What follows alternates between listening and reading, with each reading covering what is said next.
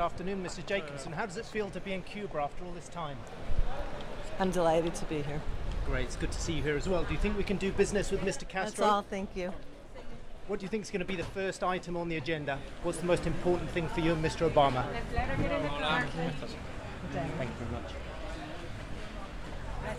Thank you, Mrs. Jacobson. Have a good trip. Best of luck.